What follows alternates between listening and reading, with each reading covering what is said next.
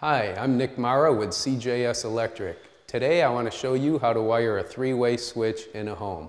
This particular three-way switch is the old-fashioned toggle type and we are changing these out to the Decora type, the rocker type of three-way switch. The tools that you need are a screwdriver, a pair of needle nose pliers with good insulation on the handles, and a tester. First thing we need to do is find the circuit at the breaker box.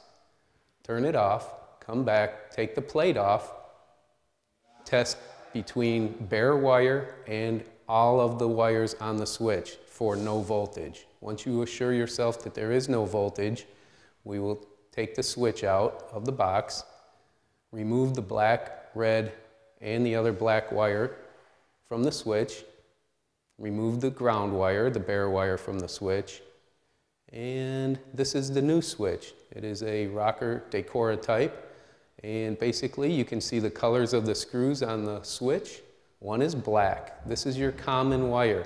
It is either the hot feed coming in or it is the switch leg as we call it going up to the light. This will go on the black screw.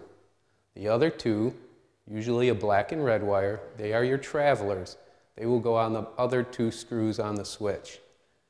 And always remember to attach your bare wire, the ground wire, to the shell of the switch.